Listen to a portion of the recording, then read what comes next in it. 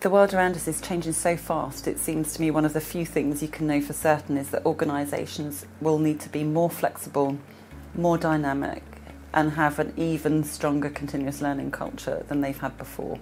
A big narrative we've been building uh, for about a year and a half, which is I can be me in DWP. We aspire and passionately want to be as the most inclusive employer in the UK.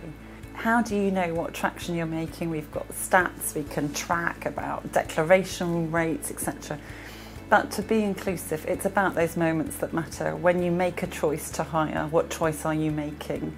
When you make a choice about which colleagues you prefer to step in and support, which colleagues you give high profile pieces of work to.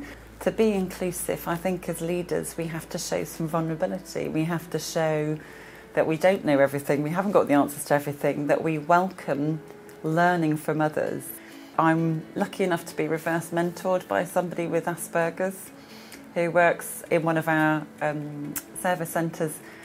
I've learnt so much from him. Uh, he speaks absolute truth to power.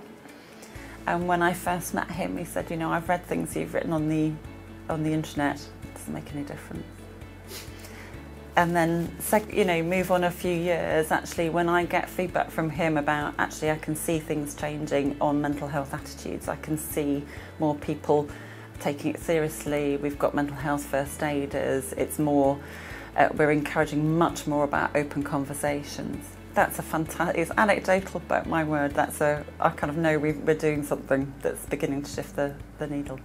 I've worked in HR for 30 years, and most approaches to people management uh, in terms of the performance space, I think I've, I've experienced one hand or another. Ultimately, whatever approach you take needs to come back to how does it reinforce or drive cultural change?